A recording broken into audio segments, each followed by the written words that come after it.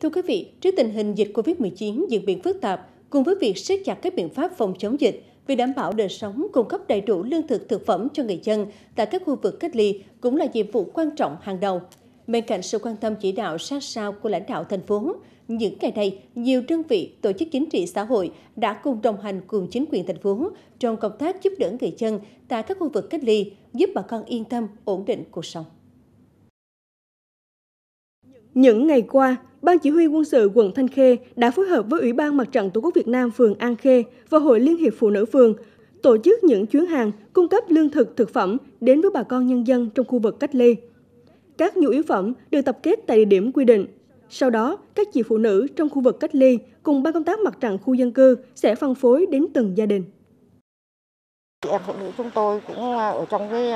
cái khu à, phong tỏa cùng với lại bà con đó, tiếp xúc với lại cái vùng mà à, trọng điểm về dịch bệnh thì tất nhiên là rất là nguy hiểm nhưng chị em chúng tôi cùng vượt qua và có cái ừ, thực hiện nghiêm cái à, à 5K. Các chị em phụ nữ đi chợ dùm cho các bà con nhân dân á, chúng tôi sẽ chuyển theo xe à, của phường sau đó chúng tôi vào à, các cái đường chính thì đó sẽ nhờ các cái chị à, phụ nữ mà ở trong khu cách ly cứng cùng với lại các ban công tác mặt trận chuyển hàng đó để vào trong các bà con ở trong cái đường việc cách ly cứng qua hàng rào.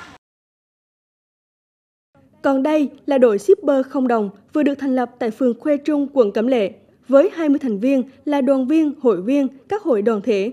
Đội shipper không đồng có nhiệm vụ giao các xuất quà do địa phương hỗ trợ đến tặng nhà người dân có hoàn cảnh khó khăn trên địa bàn trong tình hình dịch bệnh hiện nay. Nếu phường Khuê Trung có đội shipper không đồng, thì tại phường Thọ Quang, quận Sơn Trà có đội đi chợ hộ. Theo đó, các chi hội phụ nữ tại các khu dân cư phân công nhiệm vụ theo nhóm hai người.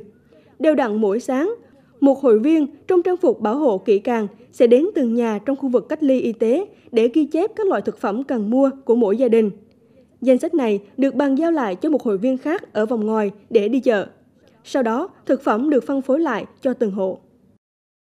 6 giờ nó bắt đầu tôi đi gõ từng nhà một để tôi mua ai mua những thứ gì là ghi thực đơn để tôi ghi để tôi sẽ bàn giao lại cho các chị phụ nữ chi hội phó để đi mua dùm cho mọi người. Có thể thấy mỗi địa phương, mỗi hội đoàn thể có những cách làm khác nhau để hỗ trợ người dân tại các khu vực cách ly. Trong các cuộc họp giao ban chỉ đạo phòng chống dịch, vấn đề huy động nhiều nguồn lực cùng tham gia hỗ trợ công tác an sinh xã hội mùa dịch cũng được lãnh đạo thành phố Đà Nẵng nhấn mạnh tăng cường vận động các cái mạnh thường quân các doanh nghiệp hỗ trợ ngoài những cái mà nhà nước ngoài những cái mà mặt trận tổ quốc có thể triển khai trong giai đoạn hiện nay thì cái này mặt trận các đoàn thể hết sức lưu ý cái việc này. Và cái thứ tư là đề nghị các cái cơ quan truyền thông thông tin cũng phải tăng cường cái việc này về mặt thông tin. Với phương châm không để ai bị bỏ lại phía sau cùng với các cấp các ngành sự chung tay góp sức của nhiều tổ chức cá nhân sẽ tạo nên nguồn lực mạnh mẽ cho công tác an sinh xã hội giữa tình hình dịch bệnh hiện nay,